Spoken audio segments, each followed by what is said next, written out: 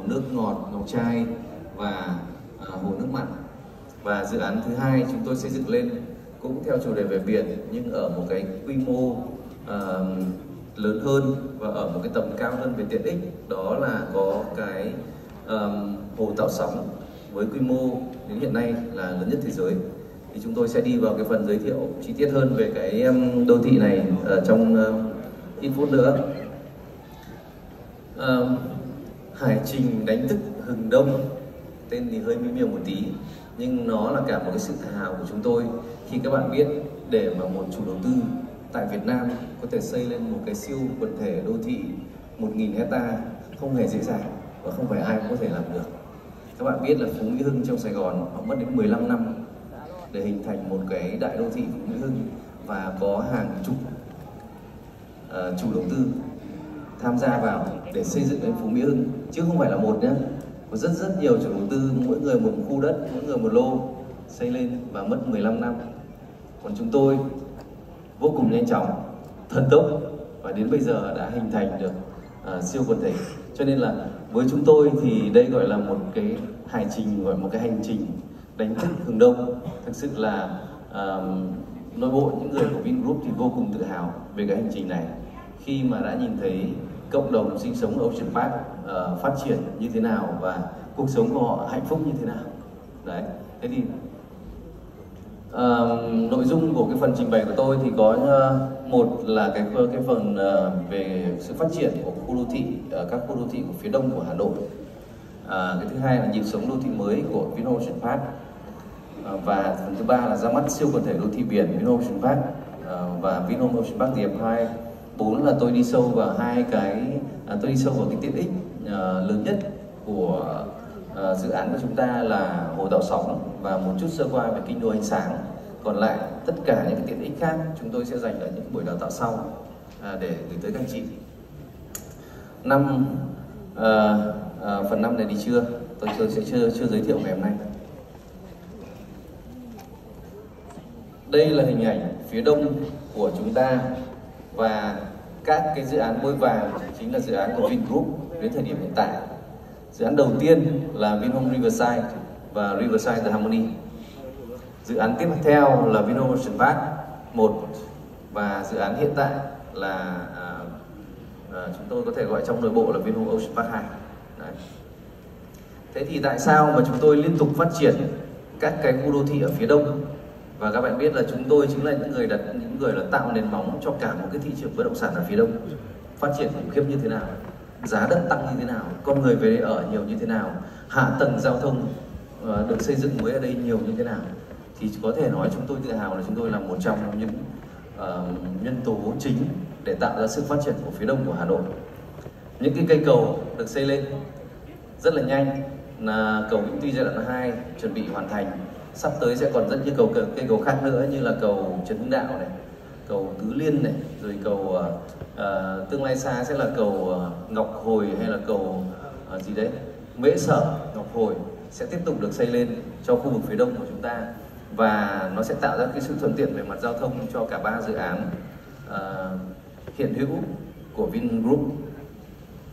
Đây là cái trục đường uh, cao tốc mà các anh chị đã biết rồi và chúng tôi đang phát triển các cái dự án của mình nằm dọc theo cái trục đường này. Nó tạo ra cái sự thuận tiện thứ nhất là từ Hà Nội di chuyển xuống các dự án đều dễ dàng, vì đường rất lớn và tốc độ cao. Và hai nữa là từ Hà Nội à gì, từ Hải Phòng, từ Quảng Ninh đi lên cũng rất dễ dàng. Thông qua cái đường cao tốc này chúng ta chỉ việc mở cái đường xuống, lên xuống cao tốc là xong. Cho nên cái vị trí, cả cái trục này có thể coi là cái vị trí vàng để chúng tôi phát triển cho uh, các cái dự án ở phía đông của mình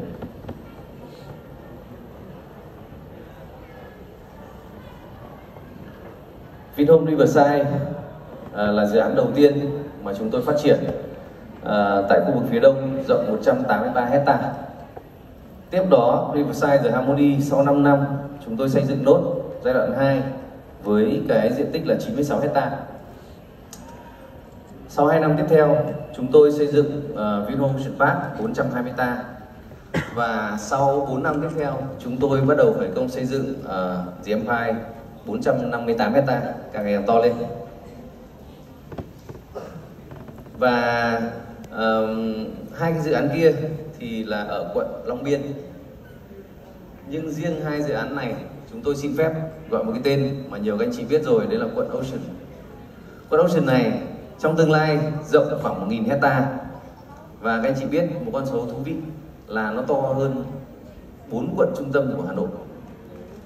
Nó to hơn. Tất cả các quận trung tâm của Hà Nội không chỉ có to nhất là 960 hecta đổ lại. Có cái quận chỉ hơn 500 hecta. Còn quận Ocean mặc dù của chúng ta hiện nay chỉ có hai dự án thôi nghe thì nhỏ nhưng diện tích của nó to hơn bốn quận trung tâm của Hà Nội. Như kiểu quận Hoàn Kiếm, quận Hai Bà Trưng các kiểu đấy. Đấy để các chị hiểu tôi xin phép không đưa cái slide so sánh về diện tích ở đây mặc dù chúng tôi đã chuẩn bị. À, bởi vì à, chúng ta chỉ gọi là nôm na chúng ta gọi à, ví von là quận thôi còn à, về tư cách pháp lý chúng ta không phải là quận. Đây là một cái hình ảnh vô cùng choáng ngợp về Vinomotion Park đúng không ạ? Đã bao giờ chúng ta nghĩ rằng chúng ta có thể có một cái đại đô thị như thế này vào cái thời điểm ngày hôm nay không ạ? Thậm chí cách đây khoảng một nửa năm một năm đã một nửa năm thì cái hình ảnh này nó đẹp như vậy rồi.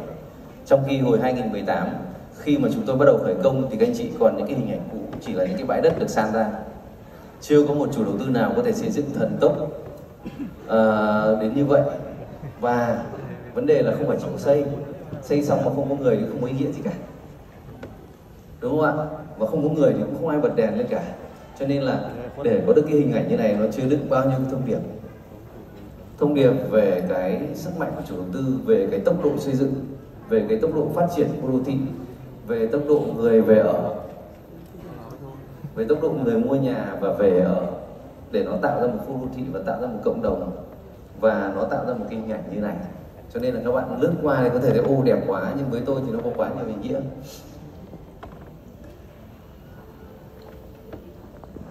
Giao thông, đây là một cái hình ảnh về đường cao tốc kết nối vào à, dự án Vinhome Ocean Park. Ờ, đường lên và đường xuống, ngay tại dự án, từ phía từ Hải Phòng lên. Thì các anh chị có thể thấy là khi chúng tôi làm bất cứ một dự án nào, thì chúng ta, tôi, điều đầu tiên phải giải quyết được đấy là vấn đề giao thông. Vấn đề hạ tầng là cốt lõi. Làm dự án đẹp mà giữa cánh đồng không ai bơi ra được thì chết. Đúng không ạ? Cho nên là đây là cái điểm mạnh tôi nghĩ là tuyệt đối của Vingroup khi làm bất cứ một dự án nào. Và các bạn không cần cần phải đo về khoảng cách bao nhiêu xa mà chúng ta chỉ quan tâm là đi bao nhiêu phút thì đến dự án của mình. Đấy, thì một hình ảnh này để minh họa rằng chúng ta sẽ tiếp tục có những cái hình tiếp theo của Vinhome Ocean Park GMI tương tự như thế này. Chỉ vài ngày nữa thôi, chúng ta sẽ nhìn thấy lối lên xuống cao tốc ngay tại GMI và chúng tôi đi, chúng ta đi từ cổ linh đến dự án của chúng tôi, chỉ mất có 5 phút. Nhanh hơn là các bạn đi đến Ocean Park. Đấy là cả một cái kỳ bán hàng đặc biệt quan trọng.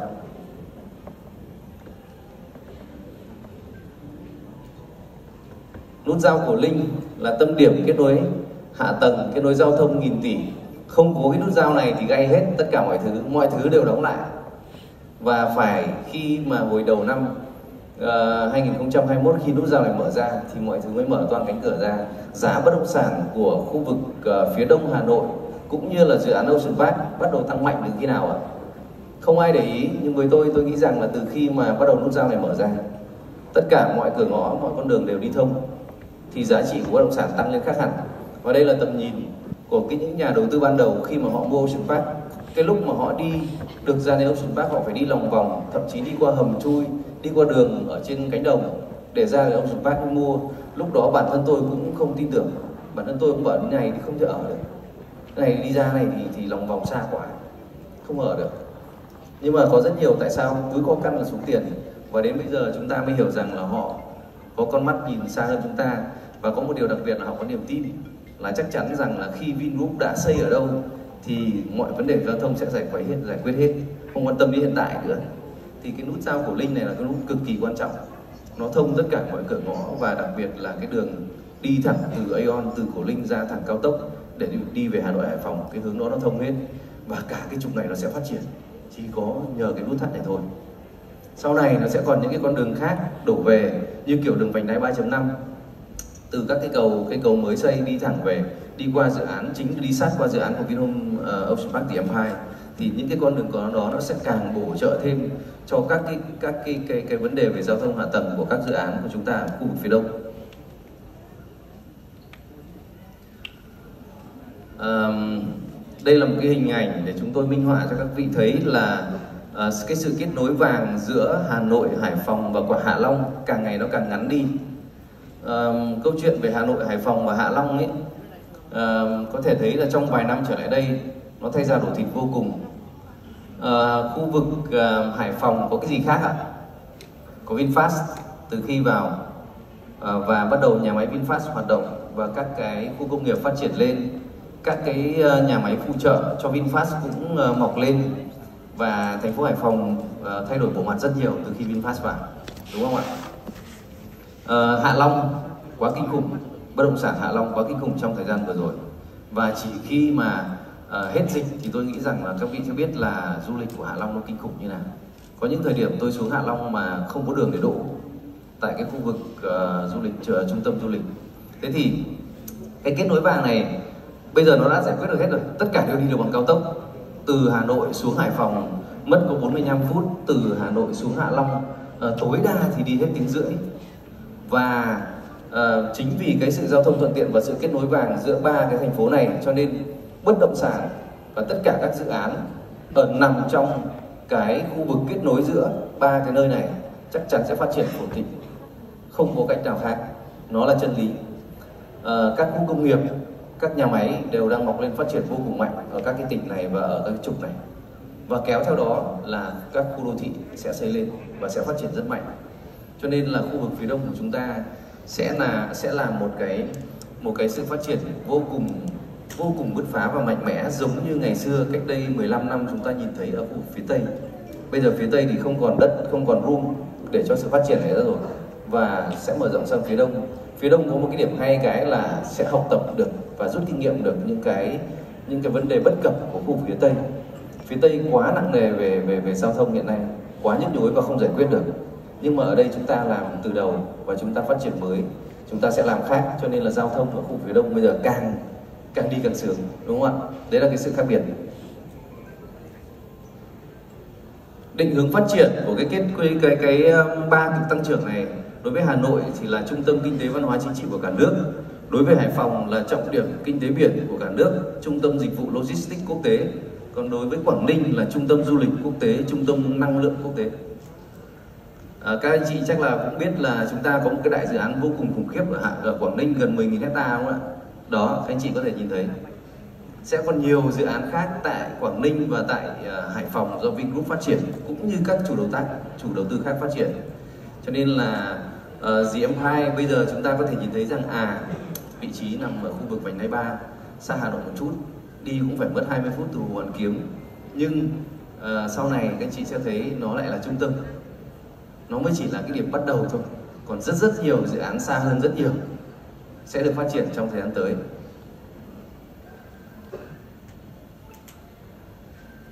Ở bên ờ, một số các nước phát triển thì bây giờ họ đã phát triển đến vành đai mấy rồi? Các anh các anh chị có biết không? Rồi, có người nói là con số 8 vành đai 8 rồi đấy. Vành đai 8 rồi chúng ta bây giờ em men vòng đai ba vành đai 3.5 thôi. Mới đã bắt đầu thôi chưa có gì cả. Đấy thì đây là cái ờ, hình để các các anh chị hình dung về các cái các cái lớp uh, vành đai và các cái hạ tầng phát triển đi theo. Thì uh, chúng ta dự án của chúng ta nằm đây thì đang nằm sát với vành đai 3.5 và sau này sẽ uh, đường vành đai 3.5 này sẽ hình thành và sau này sẽ còn những cái đường vành đai tiếp theo sẽ hình thành. Và chúng ta đang ở đang ở những cái đoạn gọi là mới bắt đầu nở ra của Hà Nội.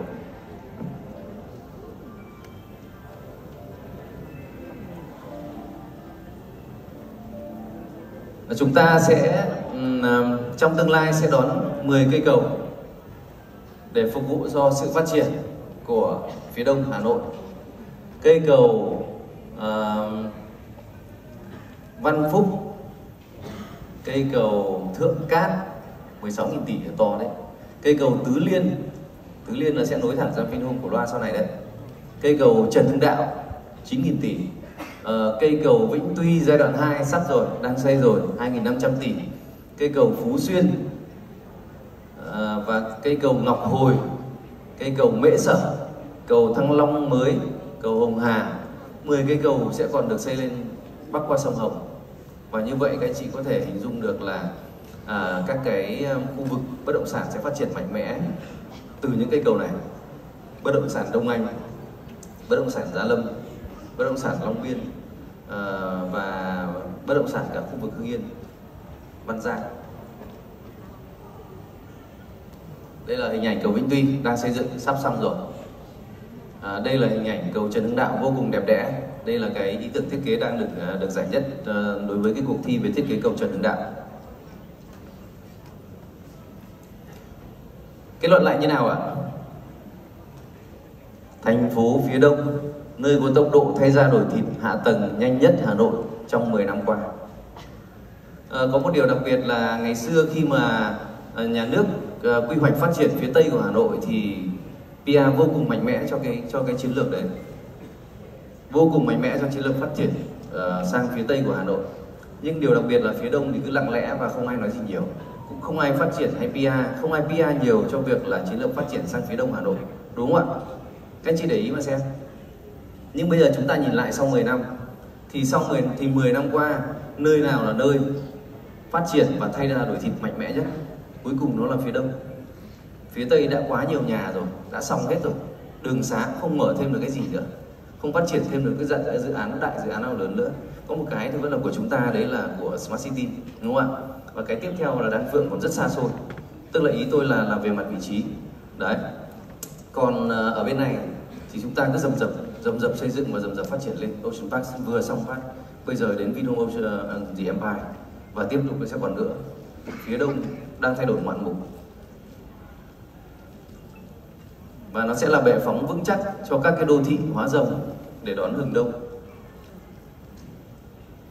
chúng ta bắt đầu ờ, quay lại, nhìn nhận lại một chút về Vinhome Ocean Park 1 trước khi bước sang Ocean Park 2 vì nó là một gọi coi như là một đàn anh đi, của Ocean Park 2 đúng không ạ? Cho nên là chúng ta ngắm nghía lại, và chúng ta từ cái việc ngắm nghía lại thì chúng ta sẽ hình dung ra ờ, Ocean Park 2 cũng sẽ tiến chuyển như thế nào trong thời gian tới. Ocean Park 1 Hồ Ngọc Trai, chúng tôi xây dựng và hoàn thành trong 70 ngày, tức là 2 tháng 10 ngày. Đại học Tinh Hoa Vinuni khánh thành chỉ sau 14 tháng. Và tòa nhà Technopark Tower chúng tôi hoàn thành chỉ sau 22 tháng. Đây là những kỷ lục thần tốc. Và sau này chúng ta ngồi lại chúng ta sẽ lại viết tiếp những kỷ lục khác của Vinhome Ocean Park The Empire tương tự như thế này. Đấy. À, kết quả gì nữa? 2.395 căn biệt thự thấp tầng đã được bán. Toàn bộ đã được bán hết không còn sót một căn nào đến căn cuối cùng mà tôi là người bán căn đấy à, 1.222 căn thương mại dịch vụ đã bán 37.453 căn hộ đã bán những con số khủng khiếp đúng không ạ và Vino Ocean Park 1 à, với cái sự phát triển đột phá và bùng nổ như vậy thì nó đã kéo theo những cái gì ạ? Nó kéo theo đất thổ cư lân cận Ocean Park 1 cũng tăng kinh khủng khiếp. Tất nhiên, nó có những cái yếu tố của hạ tầng của giao thông hỗ trợ cho cái việc tăng tăng giá này. Nhưng nếu như các anh chị hình dung không có Ocean Park một thì lấy đâu ra còn những cái mức tăng kinh khủng như này? Ví dụ như là khu vực châu Quỳ tăng đến 300% giá trị đất. Đúng không chúng ta là những người tiên phong đấy. Chúng ta kéo theo cả một đoàn tàu và tất cả những nhà đầu tư ở khu vực phía đông đều đang có lời cực kỳ lớn. Còn bên trong của chúng ta thì sao? Bên trong của Vinomotion Park 1 à, giá từ năm 2018 đến năm 2021 2018 tức là thời điểm chúng tôi mở bán. Và đến năm 2021 cuối 21 đầu 22 thì các anh chị có nhìn thấy khu vực sao biển phân khu sao biển giá tăng gấp đôi. À, phân khu ngọc trai khiêm tốn là gấp đôi còn thực tế có nhiều nơi gấp 3 gấp 4 lần. Rất nhiều dãy gấp 3 gấp 4 lần. Khu vực san hô cũng tăng khoảng gấp đôi. Không hiểu ai để cái giá 130 dưới đây chứ còn tôi nói luôn làm gì có những cái giá này giá cao hơn rất nhiều. À, khu vực Hải Âu cũng tăng gấp đôi. Khu vực à, à, các cái ờ, căn về shop chân đế cũng tăng khoảng ít nhất là gấp đôi. Đấy thì nội khu của Ocean Park cũng tăng giá khủng khiếp đúng không ạ? Thế thì chúng ta chỉ nhìn đây và chúng ta nhận ra một điều ngay là GMI thì tăng giá như nào? Chắc chắn rồi không khai được quy luật này. Tất cả các nhà đầu tư của Riverside của Ocean Park thời gian qua đều thắng lớn rồi. Và đấy chính là lý do tại sao họ đang ngồi chờ để coi như là mua gì Empire bây giờ chỉ cần có căn thôi. Tôi nói thực sự đây là dự án đại dự án cực kỳ lớn mà ờ, một điều rất hạnh phúc đối với tôi đấy là chẳng có ai hỏi mấy về giá. Rất ít người hỏi về giá. Rất ít người hỏi về giá. Có những cái nhà đầu tư lớn xin mua khối, khối lượng rất lớn chưa hỏi về giá một câu nào. Chỉ có chứng minh tài chính là có đủ tiền rồi. Giá của chủ đầu tư là mua. Thì đấy là cái rất mừng và các bạn cũng lưu ý một điều cuộc chiến này sẽ không liệt đấy. Cuộc chiến này không liệt đấy. Bạn nào mà bây giờ vẫn còn phải uh, cố gắng tư vấn cho khách hàng là cái mức giá này không cao đâu anh chị mua được là tôi nghĩ là bạn nó hơi hơi vất đấy. Nên tìm khách hàng khác. Tìm những khách hàng nào hiểu được giá trị dự án của chúng ta và không phải tư vấn nhiều về giá. Chỉ tìm hiểu thông tin uh, chỉ phân tích xem là tiềm năng tăng giá sau này là bao nhiêu thôi. Chứ còn những khách hàng bây giờ vẫn đắn đo suy nghĩ hoặc là so sánh ấy, thì tôi nghĩ là các bạn phải tìm các phương án tìm khách hàng khác là sớm đấy. Chứ không cứ vần vò một khách hàng mà mãi không chốt được căn là mất căn cho người khác đấy. Đây là một số hình ảnh của Ocean Park 1 các bạn à, cùng tôi xem lại à, đến thời điểm hiện tại. Cũng có thể coi là một cơn kinh đồ ánh sáng chúng ta có một phân khu kinh đồ ánh sáng tại Ocean Park à, tại tại Ocean Park 2 tại Empire. Nhưng mà với Ocean Park 1 thì bây giờ có thể coi cả một dự án đấy chính là một kinh đồ ánh sáng cực kỳ lớn. Với cái tòa nhà Technopark mà được giải là một trong tòa nhà có cái công nghệ chiếu sáng uh, gọi là là hiện đại tốt nhất thế giới đó chính là tòa nhà Technopark đây là hình ảnh Vinuri, hình ảnh uh, hồ ngọc trai, hình ảnh biển nước mặn. À, đây là những cái, cái căn ờ, các cái tuyến phố căn uh, shop house của dự án của chúng ta. Đây là các hình ảnh hoạt động của cư dân trên ờ, bãi biển và trong ờ, hồ nước mặn.